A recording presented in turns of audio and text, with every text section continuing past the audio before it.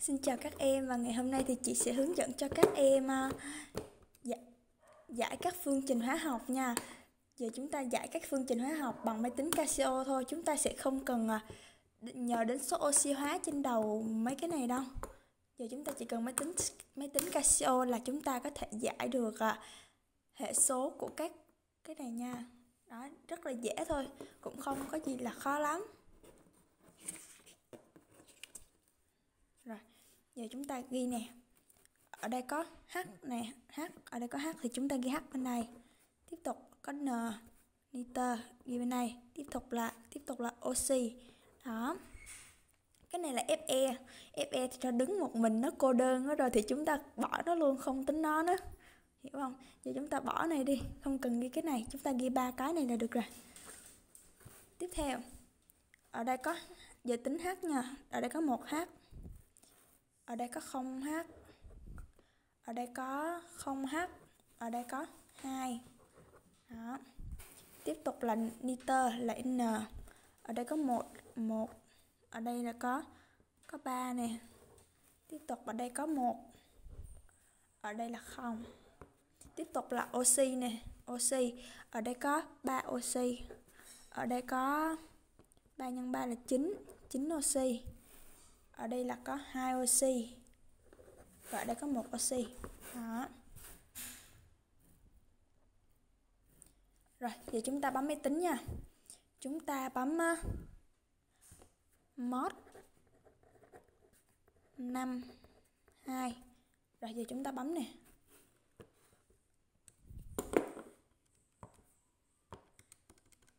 Rồi bấm nha mod 5 2 đó, giờ chúng ta nhập vào 1002 1002 1310 hàng dưới nha. Hàng dưới là 1310 dưới nữa là 3921 3 9 2 1 bằng. Bằng đó x giờ chúng mình, giờ mình sẽ ghi x x sẽ bằng à, 2 y bằng y bằng trừ 1 phần 3 chúng ta lấy số dương thôi nha. Là bỏ dấu âm đi. Bỏ âm đi là còn 1 phần 3 đó, z là 1 đáng lẽ là z trong máy tính là âm 1 nhưng mình không có lấy dấu âm nha. Mình không có dấu âm. Mình lấy một thôi. Đó. Còn cái số cuối cùng này nè. Số cuối cùng thì mình quy định là số 1 nha. Giờ giải phương trình này và tất cả mấy phương trình về sau nữa thì cái số cuối này đều là một. Rồi. Bây giờ mình quy đồng lên nhau, quy đồng mấy cái số này lên. Quy đồng cho nó mẫu là 3 nè, ở đây có mẫu 3 thì quy đồng hết tất cả mẫu 3. Nhưng cho 3.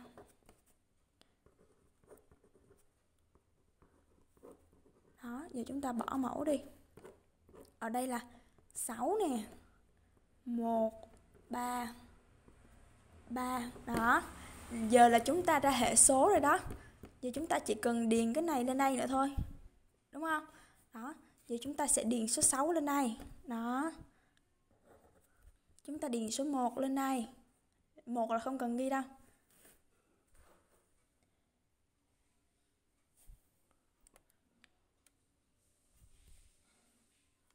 Tiếp theo, điền, chúng ta sẽ điền số 3 lên đây và điền số số 3 nữa lên đây. Đó. À, giờ giờ về phần FE bên đây nè. Đó. Ở đây là có một FE thì bên đây một FE đúng rồi nè. Đó vậy là chúng ta đã giải xong một cái phương trình đầu tiên này đó. Đó giờ đến phương trình thứ hai. Phương trình thứ hai thì cũng đơn giản à. Ở đây có khác nè. Ở đây là H2S ở trên đây là NOA2 nè đúng không? Phương trình đầu là cộng với cộng với HNO3 thì ở dưới đây là H2SO4 rồi cũng dễ thôi à. H S O oxy đó. Đó, L L cô đơn nha. Nó đứng một mình nên chúng ta không ghi nó nha. Rồi, H, ở đây có 2H 0H 2H 2 luôn. Ở đây S 1S 3S 1S 0 ở dưới đây là oxy ở đây có 4 oxy ở đây có 4 x 3 12 oxy 0 oxy và 1 đó. Tiếp theo chúng ta sẽ bấm mod 52 nhớ nha. Chúng ta sẽ bấm mod 52 úp, mod 52 rồi, chúng ta nhập này, chúng ta nhập mấy số này vào nè. 2022 2022 tiếp theo 1310 1310 hàng dưới là 4 12 01 4 12 0 1 bằng. X là bằng 5 phần 4 x là bằng 5 phần 4 x bằng 5 phần 4 y bằng bao nhiêu nè? Y bằng âm 1 phần 3 là chúng ta lấy 1 phần 3 nha, không lấy dấu âm. 1 phần 3 tiếp theo z sẽ bằng 1 phần 4 ở đây chúng ta quy định là 1 nha. Đó. Rồi, giờ chúng ta quy đồng. Quy đồng, giờ ở đây là có số 4 số 3 thì ta sẽ lấy á. 12 ha lấy số mẫu là 12 nhân cho 3 ở đây cũng nhân cho 3 luôn. À, nhân cho 4 nhân cho 3 quy đồng làm sao cho mẫu ra 12 là được nha. Nhân cho 12 đó rồi giờ mẫu giống nhau là chúng ta sẽ bỏ cái mẫu đi. Rồi thì chúng ta sẽ có là 15 1 nhân 4 4 3 và 12 đó. Rồi chúng ta đã xong hệ số rồi đó. Giờ chúng ta chỉ cần điền cái hệ số này lên đây nữa thôi. Ở đây là 15 ở đây là 4 3 và 12 đó giờ ở, chúng ở đây chúng ta có là 4 nhân 2 là 8 nè. 8L thì chúng ta sẽ điền đây là số 8 đó chúng ta đã giải hai phương trình nếu mà chúng ta tính giải tay số xét ở trên đây rất là lâu, cũng có nhiều bạn là, nhiều bạn là không hiểu. Nên chúng ta chỉ cần bấm máy tính vậy cho nó an toàn và chất lượng nha, cho nó nhanh nữa.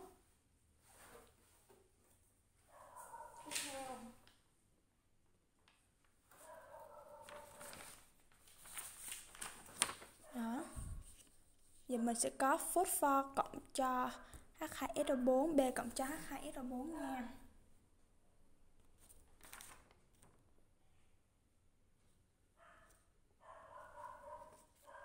mười không đúng rồi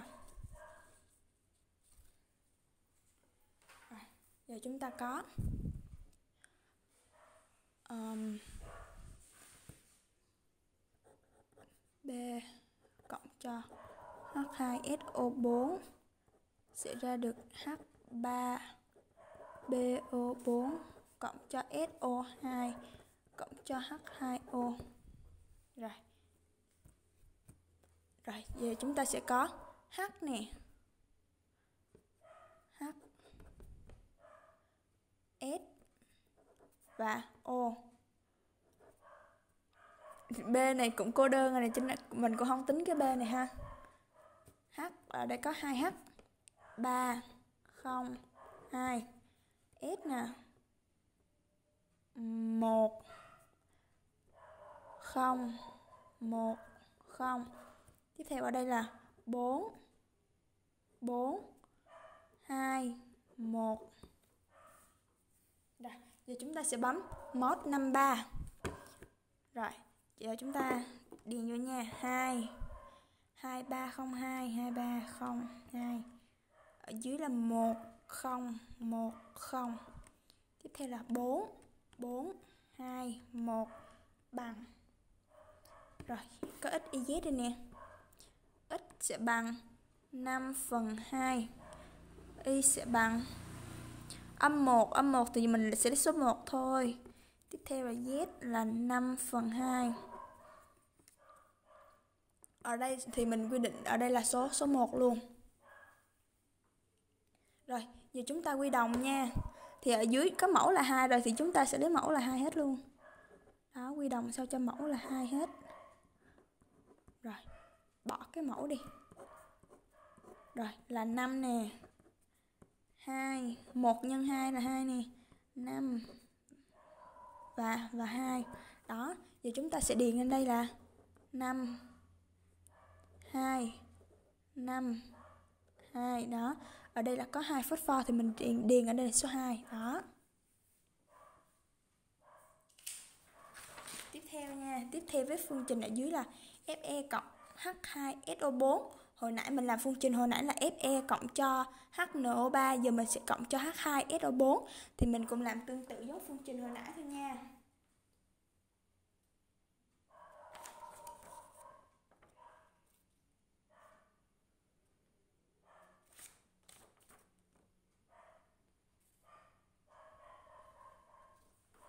Rồi, cái này là Fe cộng cho H2 SO4 sẽ ra được Fe2 SO4 tất cả 3 lần cộng cho SO2 cộng cho H2O. Đó. Giờ mình sẽ chi tiết từng cái nha. H S và và O oxy. Fe này Fe mình không ghi nè. Tiếp tục H ở đây có 2 H. Ở đây là 0, ở đây là 0, ở đây là là 2. Tiếp tục lưu hình ở đây là 1 3 1 0 Oxy ở đây có 4 oxy. Ở đây có 12 oxy. Tiếp tục, ở đây có 2 oxy và đây có một oxy. Rồi tiếp tục, chúng chúng ta sẽ bấm mod mod 52 rồi bấm mod 52 nha rồi chúng ta sẽ điền vào hàng đầu tiên 2002 2 0 0 2 tiếp theo hàng dưới là 1310 1310 tiếp theo 412 412 21 412 21 bằng.